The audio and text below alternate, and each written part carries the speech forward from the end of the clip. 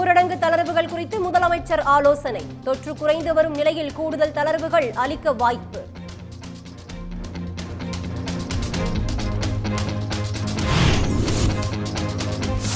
நெல்லை தென்காசி குமரி தூத்துக்குடி ராமநாதபுரத்தில் இன்று கனமழைக்கு வாய்ப்பு. டெல்டா மாவட்டங்களில் மழை தொடரும் என வானிலை மையம் தகவல்.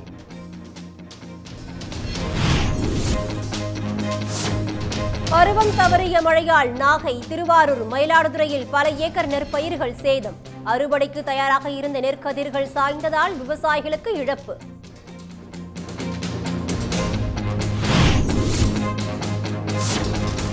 இந்தியாவின் உள்நாட்டு விவகாரங்களில் வெளிநாடுகள் தலையிட வேண்டாம். ஹிஜாப் விவகாரத்தில் உலக நாடுகளுக்கு இந்தியா வலியுறுத்தல்.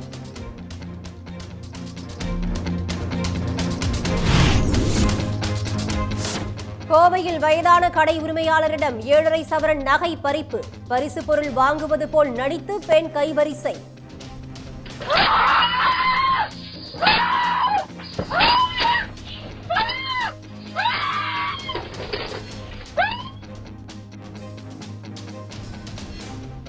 Oh!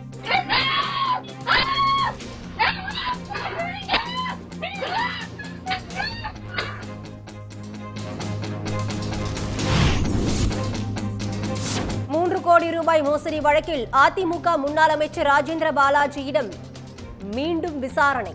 விருதுநகர் மாவட்ட குற்றப்பிரிவு போலீஸ் நடவடிக்கை.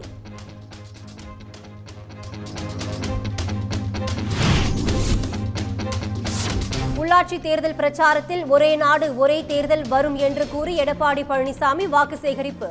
பழனிசாமி மோடியின் வாரிசாக மாறிவிட்டதாக மார்க்சிஸ்ட் கம்யூனிஸ்ட் கட்சியின் மாநில செயலாளர் கே. பாலகிருஷ்ணன் விமர்சனம்.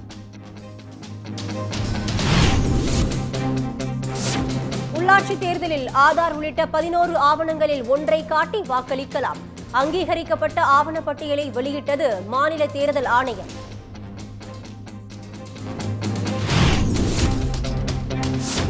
உள்ளாட்சி தேர்தலில் வாக்காளர்களை கவர விதவிதமான உத்திகளை கையாளும் வேட்பாளர்கள்.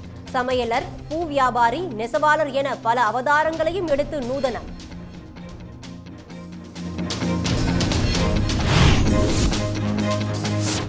சென்னை மாநகராட்சியில் வாக்குப்பதிவு இயந்திரங்களில் சின்னங்கள் ஒட்டும் பணி தீவிரம். ஐந்தாயிரத்து எழுநூற்று தொன்னூற்று நான்கு வாக்குச்சாவடிகளுக்கு பதினோராயிரத்து எழுநூறு வாக்குப்பதிவு இயந்திரங்கள் தயார்.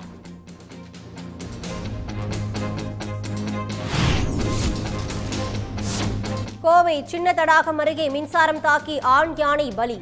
ஒரே வாரத்தில் இரண்டாவது யானை உயிரிழந்தது குறித்து வனத்துறை விசாரணை.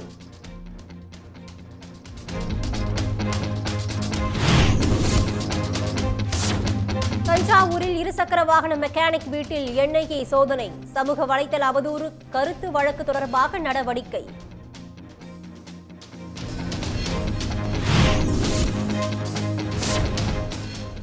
நாகர்கோவில் அனைத்து மகளிர் காவல் நிலைய ஆய்வாளர் கண்மணி வீட்டில் லஞ்ச ஒழிப்புத்துறை சோதனை பல லட்சம் ரூபாய் ரொக்கம் முக்கிய ஆவணங்கள் சிக்கியதாக தகவல்.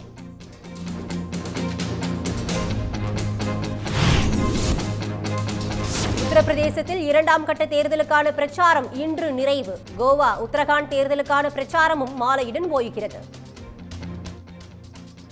உடனுக்குடன் செய்திகளை தெரிந்து கொள்ள சன் நியூஸ் பெல் கிளிக் பண்ணுங்க.